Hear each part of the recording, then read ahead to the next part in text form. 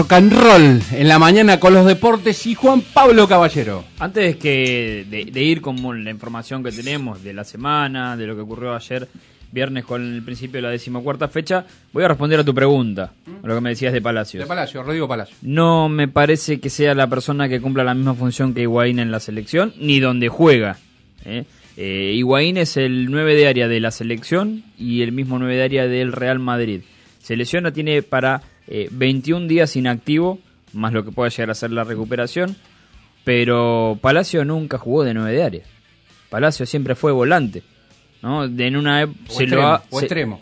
Sí, Extremo. sí, volante por, por derecha, eh, se suele también manejar por izquierda, pero porque tiene rapidez como carrilero, llega muy bien al fondo, pero no tiene la- las cualidades que tiene Higuaín. Yo hubiera, hubiera buscado a, a Milito.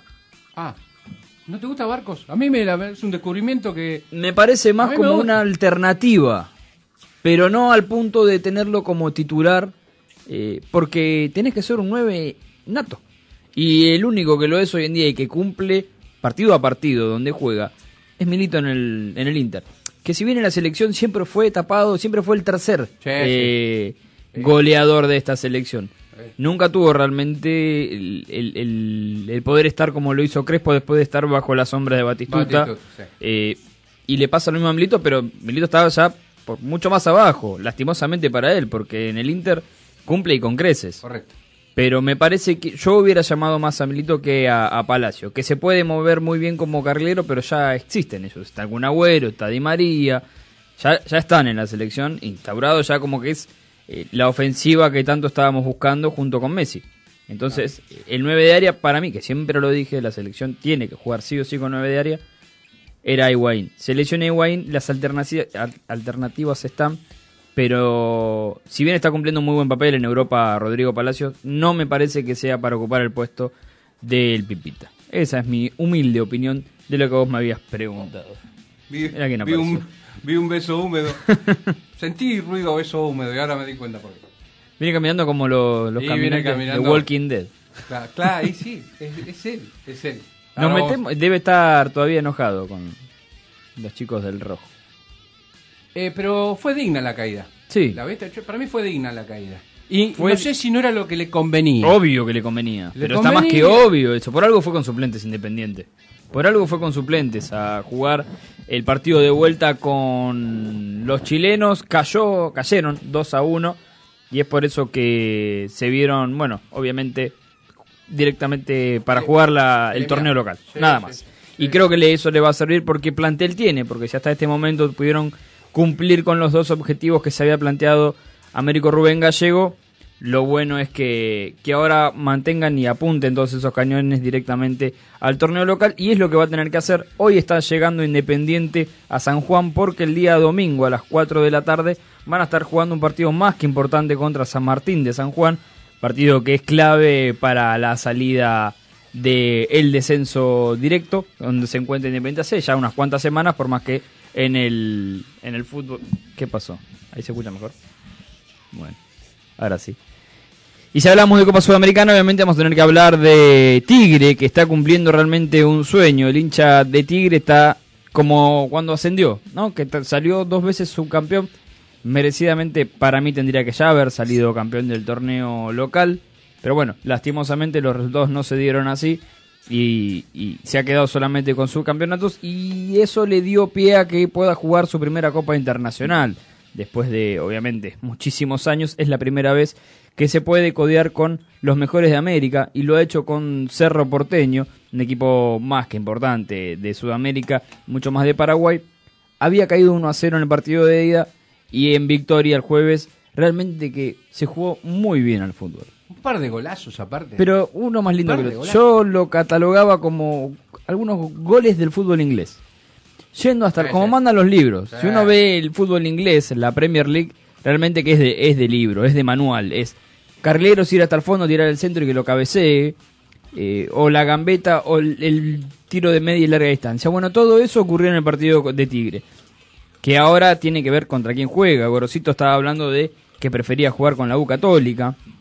Un equipo donde él jugó en la década del 90 con el Beto Acosta. Y le conoce muy bien a la institución. Que- buen recuerdo dejó, ¿eh? Sí, dos. sí, sí, sí, sí, sí, sí, vi- habido muy bien. Lo que no me acuerdo si lo dirigió ahora en este interín. de- ¿Gorosito? No, no, no, no, no, no. Pero sí, gran recuerdo como, como jugador. Y es por eso que Tigre realmente tiene merecido el pase a la semifinal y a también a la Copa Libertadores del año que viene. Así que están en, en- en el gran sueño de poder ser campeones de la Copa Sudamericana. ¿Por qué no? Si lo ha hecho Arsenal en su momento. Un Arsenal que me da pie también para hablar de la Supercopa. ¿no? Esta Supercopa que no ha tenido gran trascendencia, que se ha jugado en Catamarca el día miércoles por la noche. Pero alegró un país. ¿Cómo? Un país se alegró. digo. Digo por el hecho que se jugó una final. Ah, un país. Y- El mundo River seguramente está muy contento. Supongo, no sé, yo viste que yo a mí casi no, si no juega River no le bolilla, pero hay un país que se puso muy contento por un equipito chiquito que llegó a lo que llegó. Bueno, eh, Arsenal se puede dar el lujo de que siendo el más joven de los eh, equipos que están en primera división hoy en día, eh, ya tenga un título local, tenga un dos títulos internacionales, porque tiene la Surbank, porque tiene Ah, ¿te la acordás? Copa Sudamericana y ahora tiene la Supercopa. Toma para vos, Eh, de esta copa, en tu cara. de esta copa se hablaba mucho más que el ganador iba a jugar con el Real Madrid. Y Braguiri ya está pensando en Cristiano Ronaldo. ¿o no? Claro, pero hay que ver qué presenta Real Madrid, porque Real Madrid está jugando la Champions, está Ah. primero en la Liga Española, esto igual falta mucho, Bien. pero iba a tener mucha más trascendencia que juegue Boca Claro. con el Real Madrid que que juegue Arsenal con el Real Madrid. Salía lindo un partido ayer, uno acá, ¿no? Sería Real ideal. Madrid en Arsenal. A la cancha del viaducto. En el viaducto. Con Sería el, no puesto choripán, te clavo Sería ideal. Y de hecho, después de ese partido se hablaba tanto de eso, de verlo a Cristiano Ronaldo jugando en el viaducto. ¿No? Sería, sería buenísimo. No va a pasar, no va a pasar. Pero. Pero bienvenido sea que. ¡Eh, puta! me saltó, me saltó. Un alambrado. ¡Cuentrao! ¡Eh! Bienvenido sea entonces que Arsenal sea el super, el perdón, el campeón, el bicampeón del fútbol argentino, hay que decirlo, se lo merece. Campestrini atajó tres penales, Ustari había atajado dos, pero no le alcanzó a Boca. Penalazo lo de Campestrín, Sí. mano cambiado arriba, fuerte, aparte manteniéndolo. Bien, me gustó. Lo que pasa es que el presente de Arsenal marca otra cosa. Dale el micrófono, Steven. Sí. Arquero, Buen, arquero buen de- día, buen día, Steven. Arquero de selección Campestrini, ¿eh? Mira, en un momento Montoya era el mejor arquero de, de Argentina, jamás fue citado ni siquiera para un amistoso en la selección. Todo tiene que ver también con la aportación de camiseta que tengan. Sí, sí. Eh, Orión es citado y, y fue citado en su momento, tenía camisetas Ustari. pesadas. Ustari. Ustari. Ustari, pues. Eh, también, por eso te digo, y, y si no, eh, arqueros que en realidad siempre fueron de, de equipos importantes. Montoya para mí tendría que haber sido hacía mucho tiempo, ahora bajó su nivel y ni siquiera está atajando en la primera de Vélez. Pero hace mucho tiempo que tenía que haber sido el arquero de la selección, pero a veces la humildad le juega en contra y es por eso que no tienen la chance de estar eh, presenciando partidos de selección nacional. Básicamente eso es lo que se dio en la semana. Si te parece, en los próximos bloques te propongo hablar de automovilismo porque se corre la anteúltima fecha del turismo carretera. Ayer hizo el mejor tiempo Canapino, pero hay algo, hay algo que no realmente no, claro, tiene que Tiene que ganar ganar, tiene que todavía, ganar una. tiene que ganar una y ya Lombardo también, que es el Ford que está más cerca Mm. del puntero del campeonato, que es eh, Matías Rossi. Pero hay algo que no me cierra que vi ayer en la clasificación. A ver. Aventim, Sí. el Pumita Aventim. Oscarcito, sí. El Puma.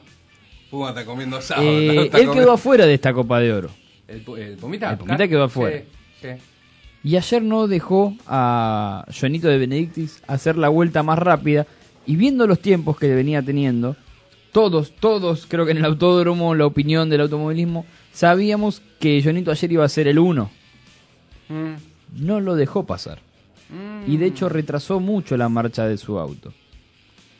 Lo cual dejó obviamente a De Margen. Benedictis marginado, ¿no? De el 1, el 2 o el 3.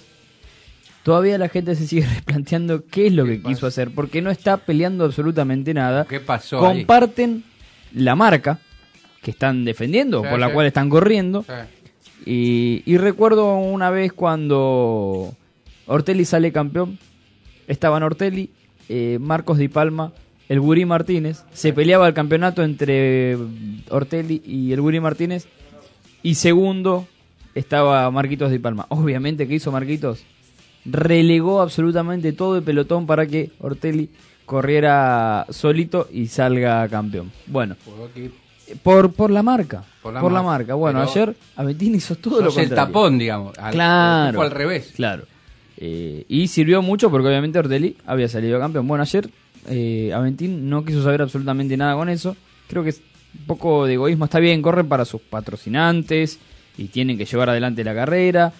Pero qué sé yo, me, causó bastante bronca porque hay muchas, son pocos después de todo el lío que se armó con el tema del reglamento. Después de que se hable de que de Aventín padre que favorecía o no favorecía a Lofor, cuando se intenta hacer algo básicamente equitativo para todas las marcas, bueno, eh, suceden este tipo de cosas. Falta la clasificación de hoy, pero te lo prometo para más adelante.